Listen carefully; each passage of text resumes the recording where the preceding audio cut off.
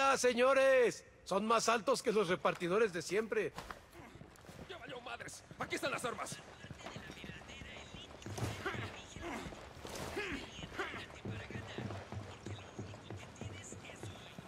¡Mierda!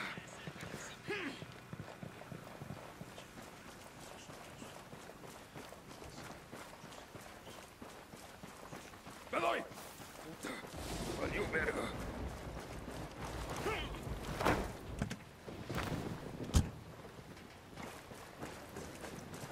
Atención, un narco con subfusil.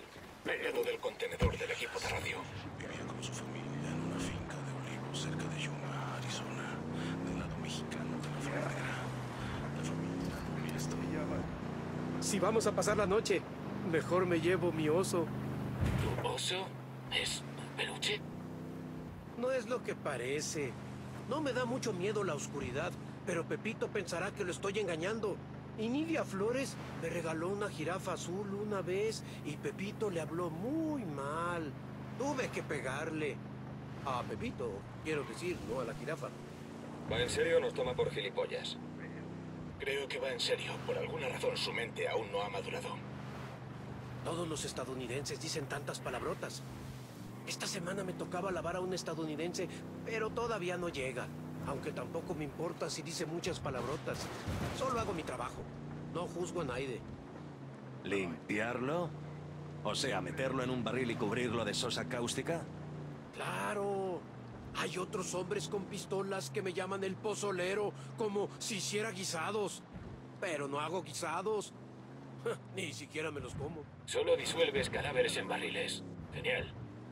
A veces yo también los entierro. ¿Por qué me miran así? Ni que yo hubiera matado a esa gente. Pepito, no me lo permitiría. ¿Y eso por qué? Porque no es parte de mi trabajo, claro. Seguro que no podemos regresar para buscar a Pepito. Seguro, sin problema. Le diremos que no había jirafas ni otros animales. Gracias.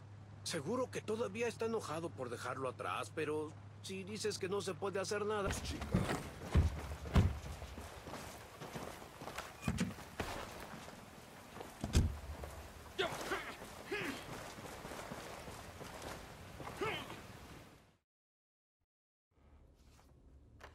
Íñigo Morales, juez del distrito. Desapareció al salir del trabajo. Octavio Rodríguez, estudiante y activista. Secuestrado por una banda armada en un bar local.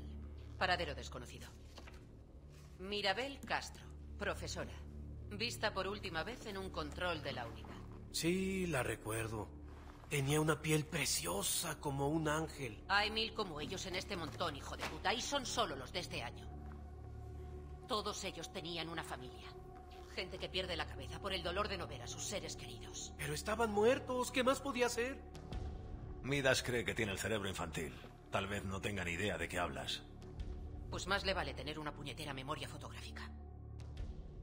Quiero los nombres de todas las personas que has metido en esos barriles. Me da igual cuánto te lleve, ¿entendido? Sí. Ok. Y me llevan de regreso, ¿verdad? Debo volver al trabajo.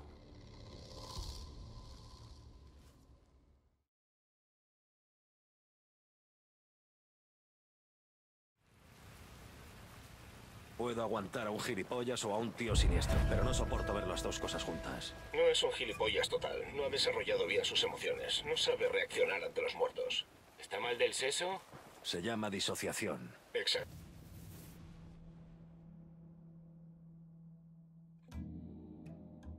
El muro iba a intentar matarme, así como yo iba a matarlo a él.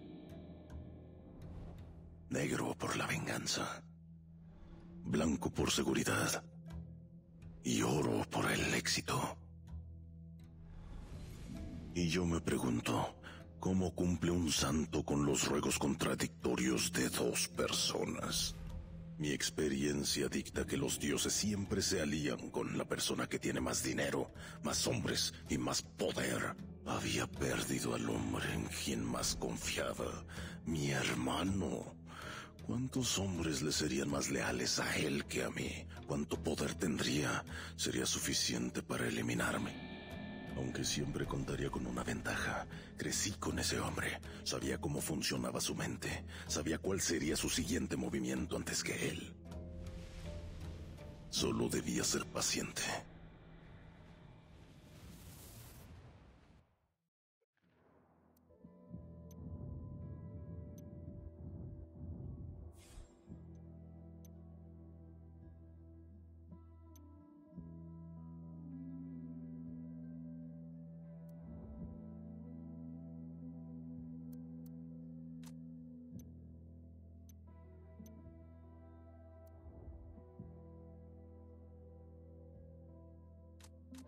No volveré a dejar que mis hijos quemen hormigas. ¿Qué fue? Se fue. Ya me picó el mosquito. ¿Cómo está todo? Vámonos. No venimos a ver si podíamos. Venimos porque podíamos. Santa Blanca Radio. Todo el poder de México transmitiendo con 100.000 watts de potencia. Sa-